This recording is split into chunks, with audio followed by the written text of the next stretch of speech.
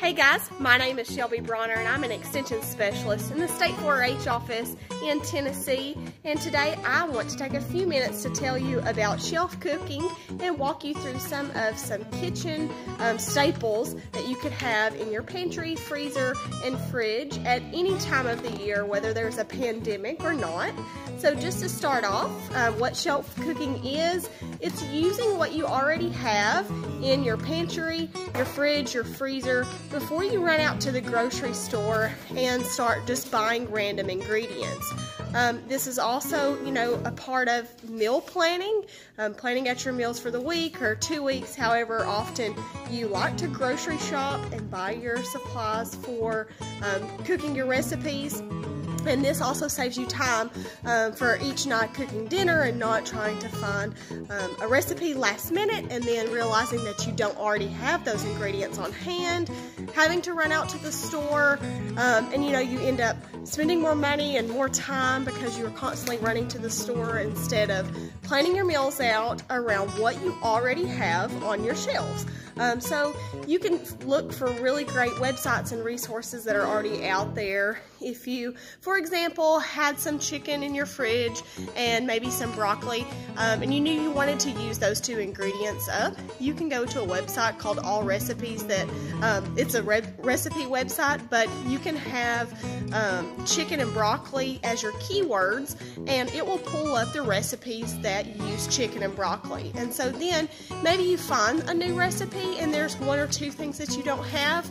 So when you go to the store, all you need to buy are those two extra ingredients that you didn't have on hand. You're using up that chicken and broccoli that you already had um, rather than doing a whole different recipe that you've never done and you have to buy all of the ingredients new.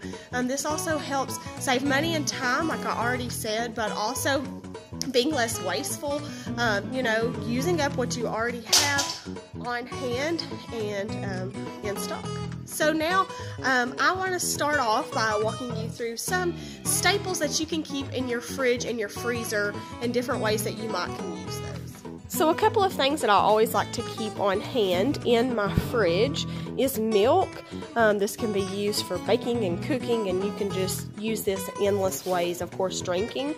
Um, you know, you might prefer almond milk or coconut milk or something of that nature and that's perfectly fine too.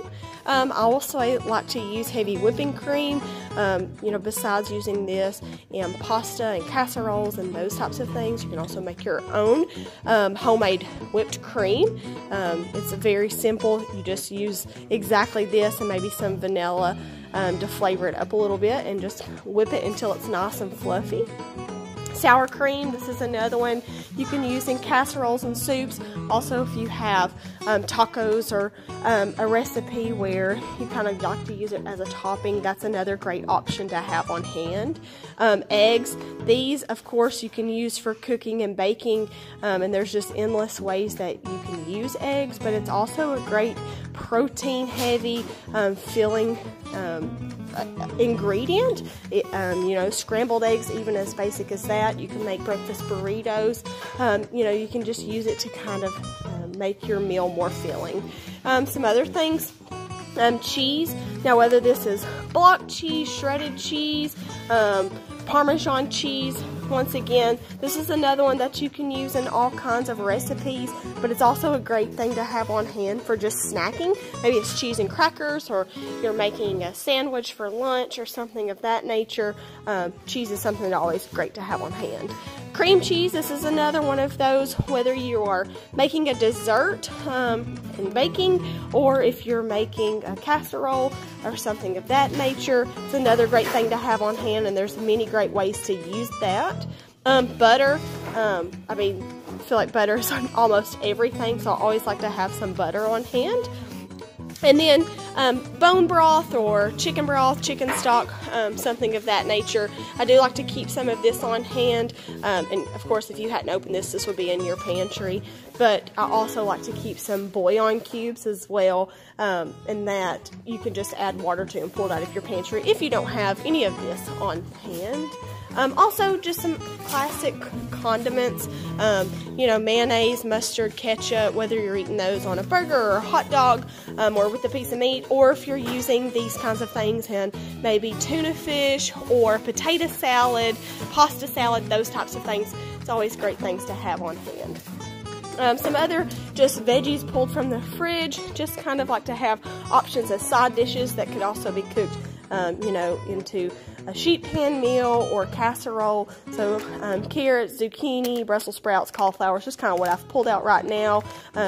You can always, there's just so many ways you can make this very versatile and always have some veggies in your meal. And then some things from the freezer. Um, always like to keep some bacon on hand. Of course, that could be in the fridge too if you plan to eat it soon. Um, chicken, you can buy larger packs of chicken, um, you know, to reduce the cost a little bit and then break it up into the sizes that you need. So, got chicken on hand, um, ground beef or ground turkey, just keep that in the freezer. Um, of course, just having protein on hand.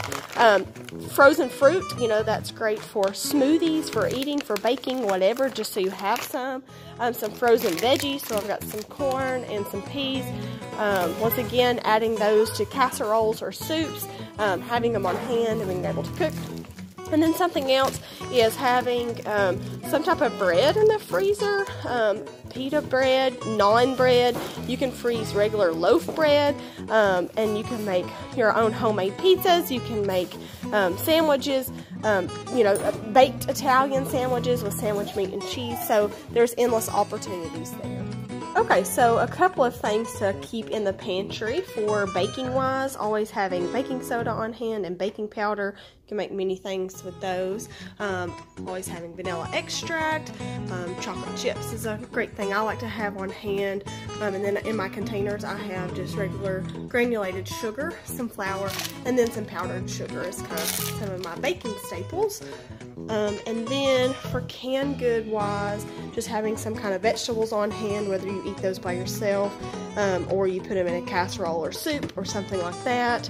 Um, beans, you can stretch you know your your food very far with different kinds of beans so um, I usually like to have black beans as well but I'm out of those um, cream of chicken and cream of mushroom those are good and soups and casseroles as well um, and then for tomato wise, diced tomatoes and crushed tomatoes.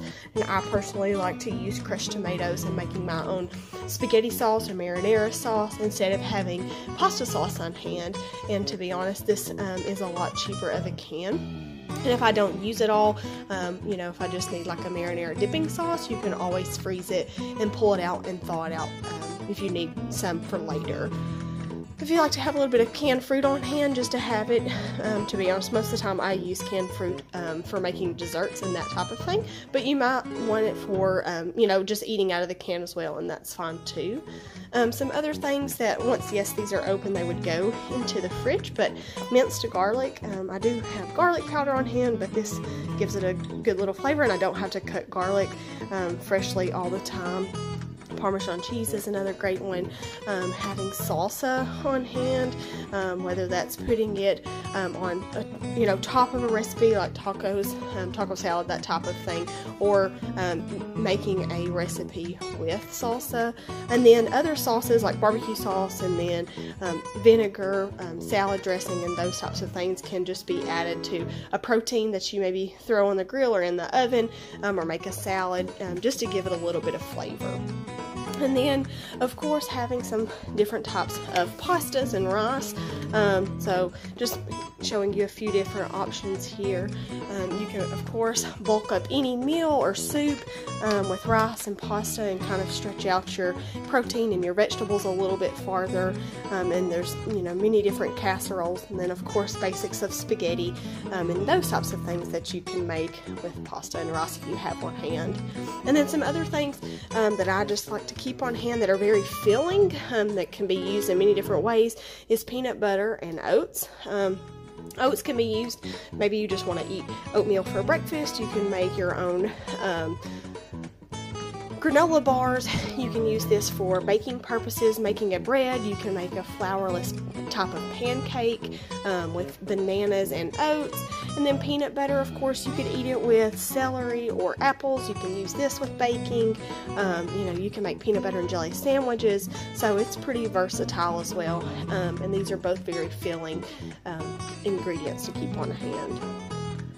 And then just a couple of other things, more so spices, but just some basic spices basil, pepper, oregano, chili powder, garlic powder, um, cumin, red pepper, paprika, onion powder, and then um, cinnamon, some yeast, and I had mentioned chicken bouillon cubes earlier, salt, um, just those basic seasonings. You can make just about anything, um, whether you're making chili or taco soup or tacos um, or spaghetti or your own marinara sauce, um, or you know you're baking and making uh, maybe you're making homemade oatmeal and those types of things. These are just some kind of basics I like to keep on hand. And then for cooking oils, um, besides butter, is avocado oil and then olive oil. Um, those are just my preferences of oil, and they um, avocado oil has a high smoke point, um, and olive oil is a little bit lower. But those can be used in um, your recipes and with cooking as well.